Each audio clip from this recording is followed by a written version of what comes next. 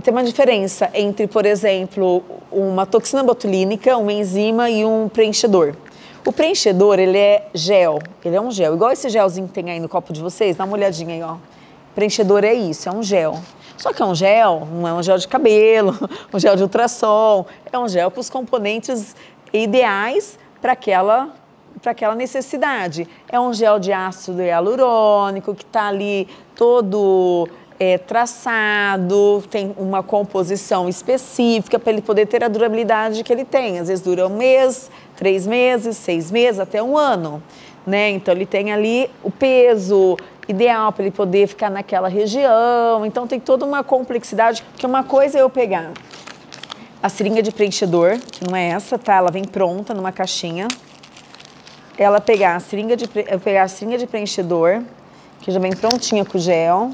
Eu pego a seringa de preenchedor que está lá prontinha na caixa e fico testando, às vezes, fora do tecido do paciente. Aí eu testo, ai, nossa, super fácil, olhinho esse preenchedor, né? Vai ser facinho de eu aplicar. E a hora que eu vou pro tecido, nossa, a mão do da povo treme, assim, ó. Imagina você tremer aqui, você começa a tremer, o paciente vai querer que você fique colocando o preenchedor nele, ele vai sair correndo.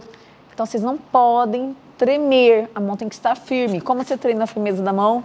Na berinjela.